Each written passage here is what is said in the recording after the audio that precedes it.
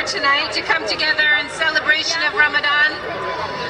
Thank you, Sarah, for that kind introduction, and thanks uh, to Dawanet Muslim Fest and all the organizers, volunteers, and staff put together this amazing event and have given us the opportunity to enjoy this iftar with all of you.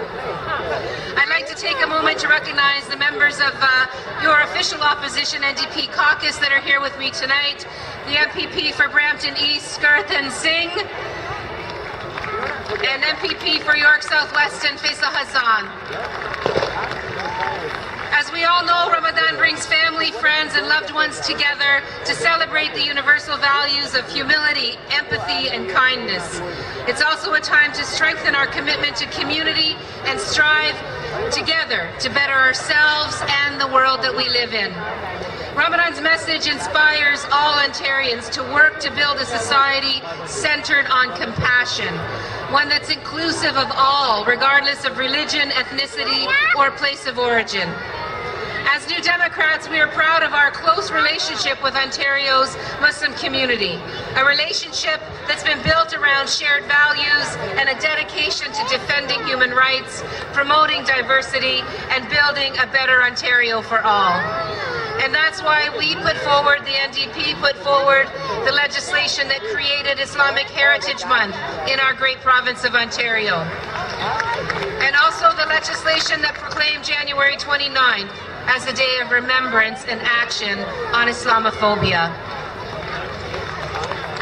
It is my sincere hope that these actions, along with the work that we do at Queen's Park and in our communities each and every day, shows every generation of Muslims in Ontario that you are valued and that you are welcome here.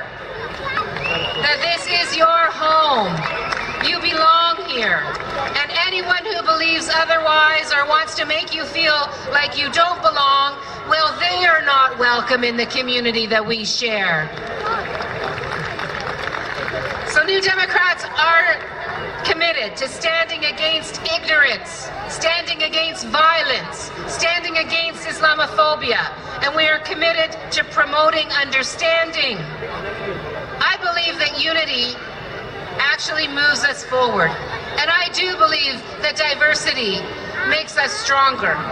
And I know that the same core values that motivate your community are the same values that inform the work that we New Democrats do at Queen's Park. So tonight I'm glad to be with you to celebrate Ramadan and to celebrate the Muslim community. Thank you for everything that you do to make Ontario better. Thank you for your charity and your selfless contributions.